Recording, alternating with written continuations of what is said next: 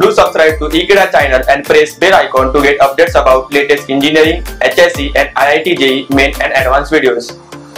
Hello students, today we are studying chapter human respiration and in that we are studying topic asthma.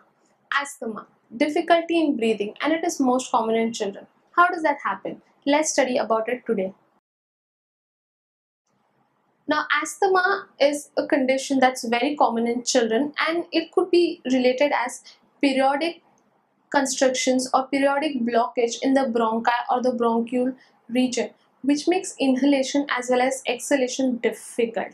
And if inhalation and exhalation is difficult or it is hindered obviously the gaseous exchange that is removal out of CO2 and intake of oxygen would get little hampered asthmatic attacks may be caused due to the secretion of mucus in the bronchi region or due to certain cold temperate or allergens which actually stimulate the immune system to produce certain cells which secrete mucus as a secondary response. Now mucous membranes or mucus layer becomes very thick in asthmatic attack and that's the reason people who have got asthmatic attack uptake inhalers as a source of prevention. Or these inhalers can be really said as medicines which are in powder form or gaseous form in that medicine tube of inhaler. And when they inhale those medicines it directly gets inculcated or absorbed in the respiratory tract. It clears the air passage or just clears the mucosal layer air passage. And finally the individual can breathe and sustain now inspiration is normal in asthmatic patient but expiration or exhalation gets a little difficult. And asthma gets more triggered especially during cold temperatures especially during winters or rainy season or if you visit any cold climatic condition. Asthmatic patients are more children in number whereas adults never have asthma. Even if they get it may be due to allergic reactions. And asthma if not cured properly may lead to blockage of your bronchi or alveolar tract.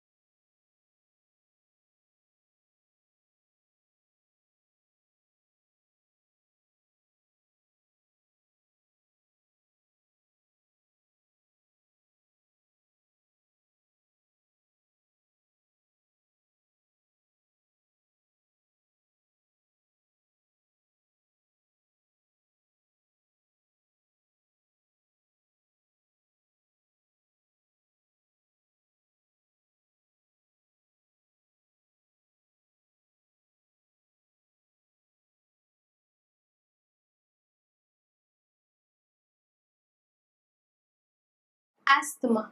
Now, asthma can be defined as or can be said as a disorder which occurs due to periodic or timely constriction of bronchi or bronchial region. And this asthmatic attack is basically severely common in cold temperate climates in cold seasons etc now attack of asthma can be triggered by airborne chemical fumes. It could be due to nicotine or such things.